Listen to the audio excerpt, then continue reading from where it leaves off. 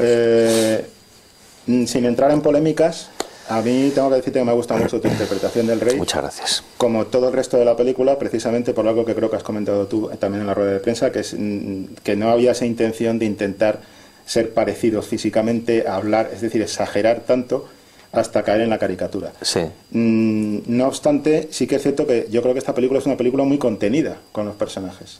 Es decir, no hay ninguna escena, sí que hay escenas eh, concretas eh, tuyas al teléfono, hablando con, con distintos personajes, pero como no hay ninguna escena así épica de, gran despliegue visual en cuanto a que tú te puedas soltar y empezar a pegar voces más altas y demás. Yo es que creo que el director siempre tenía una visión documental, quería contar esto con algo cercano al documental, entonces no, la peli no es documental porque es un thriller político, está contado con ese ritmo, con, esa, con ese misterio y con esa cosa, pero está contada de verdad y la vida no es épica. O sea, la épica mm, la tenían los griegos en las tragedias y, la tenemos en Braveheart. Pero no, esto es otro tipo de espectáculo. Ya te digo, es un thriller político en el que los personajes son seres humanos, que tienen miedo, que tienen dudas, que no, sé, y sobre todo que, son españoles, ¿no? Ahí aparece, está presente la chapuza nacional absoluta y constante. Tenemos a los militares tal y como eran, un poco cazurros. ¿Qué le vamos a hacer? Esa era la España franquista que heredamos, militares cazurros que creían que tenían que disciplinar a España como si fuéramos un adolescente eh, travieso, ¿no? Es así, pero es que eso fue así. ¿Hay alguna fuente concreta que te haya servido más para componer la figura del rey? Mm, hombre, hay muchísima información. Hay un, libro que tenemos de referencia para esta película, es el libro de Javier Cercas, ¿no? Eh, pero vamos, me he leído y he visto del rey, yo creo que todo lo que está escrito. Y de todo eso he sacado frases, compendios. Hay, por ejemplo, una frase que me interesó mucho, porque siempre se habla del tópico de que el rey es campechano, pero el rey es mucho más que campechano. O sea, no, es, no es ese rey de nariz colorada y un poco de sainete que nos han pretendido vender muchas veces. No, ay, qué bueno es el rey, es que es más campechano. No, el rey es un tío que ha sabido generar un equipo de trabajo desde antes de llegar al poder, ¿no? Después de, Franco es un tipo que ha sabido generar eh, una dinámica de trabajo a su alrededor, es un tipo que al ser un buen líder es alguien que sabe escuchar y a los talentos de cada uno sacarles el provecho necesario, ¿no? Eso se muestra en la película y eso está bien y eso es a mí lo que, lo que me interesaba contar, ¿no?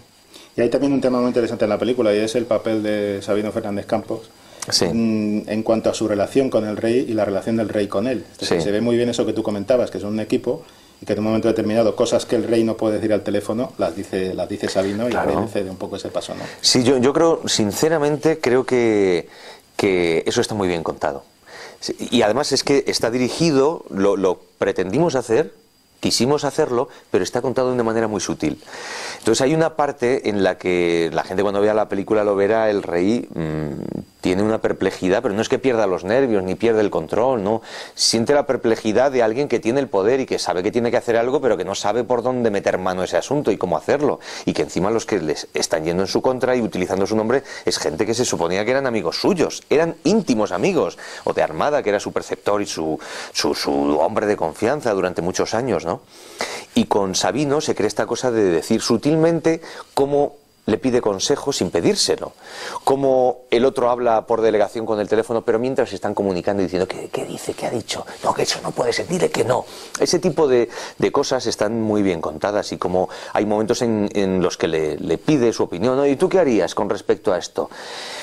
En fin, pero esa, esa cosa a mí me parece de lo más interesante de Zarzuela, por eso algo que a priori dices, coño, puede ser un poco aburrido de contar esto, ¿no? Bueno, pues toda esa, esa, esa, trama de teléfonos, de, oye, ¿qué hacemos con esto? Tal, está contado de una manera por Chema de la Peña muy viva, muy humana y muy, de una manera tan normal que es muy creíble y que arrastra al espectador. ¿Cuál fue la escena más difícil de interpretar en la película? Bueno, para mí había un momento que quería hacerlo muy sutil y, y que era muy difícil, que era cuando está conversando con Armada, hay un momento en el que le dice, mira, mm, a mí me parece que estás loco y que se te ha ido esto de las manos, Armada. Ni, ni quiero que me sigas llamando, ni quiero seguir hablando contigo, te paso con Sabino. Que es un momento eh, muy delicado porque está, hay un componente emocional sobre eso. En ese momento es como si rompiera con el padre. Porque de alguna forma el don Juan está presente en la película en una conversación de apoyo telefónico, pero en ese momento el, el padre que representa la figura de Armada tiene que romper con él, ¿no? Y entonces yo quería hacerlo de una manera muy sutil, sin caer en la cosa melodramática de la lágrima y qué pena. No, desde la hombría y desde el peso específico que tienen estas personas. Eh, este, eh, nuestro rey Juan Carlos, que es un hombre, y era un hombre en aquel momento, ya eh, en la cuarentena, quiero decir, que no era un niño, y aquello no lo podía vivir como si fuera un adolescente que se pone a llorar por las esquinas, ¿no? Que hay un poco a veces tendencia a hacer este tipo de interpretaciones. Pero yo quería hacerlo de una manera muy sobria y sutil, y eso para mí fue muy difícil. Espero que los espectadores crean que, está y que lo he conseguido, ¿no? Y, eso es algo, un, punto que me obsesionaba de la película, cómo dar esa emoción sin, caer en la lágrima fácil, ¿no? Eh, el director nos ha comentado en la rueda de prensa que esto él considera que es una película de género, un thriller, político.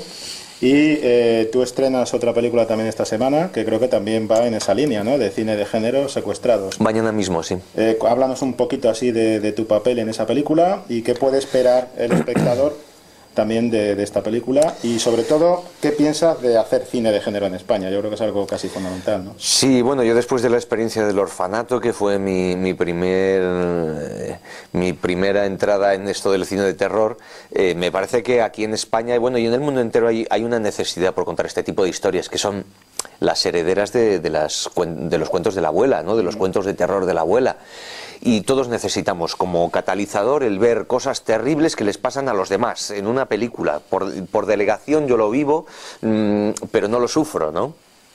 Y creo que es muy importante. Secuestrados eh, es un peliculón. Eh, es una película hecha con muy bajo presupuesto, pero que ha sido premio Mejor Película y Dirección del Festival de Austin, en Texas. El, eh, yo creo que el mejor festival de cine de terror del mundo. Y, la gente va a alucinar viendo esta película. Es una película de terror puro y duro en la que interpreta un personaje que no tiene nada que ver con el rey, que muchas veces la gente me pregunta, a ver si te van a encasillar. No, gracias a Dios, no, no se me encasilla. Y por, en esta hago un padre de familia que sufre un asalto a su casa y todo esto está contado de una manera brutal.